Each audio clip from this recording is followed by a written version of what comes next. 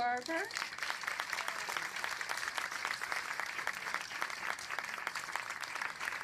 Miss Kansas, Kendall Shinetzi.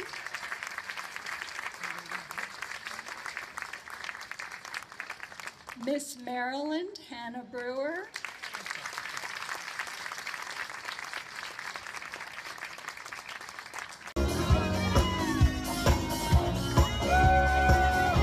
Good luck, guys.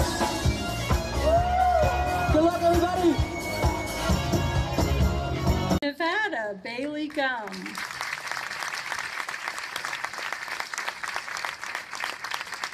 From Oklahoma, Sarah Klein.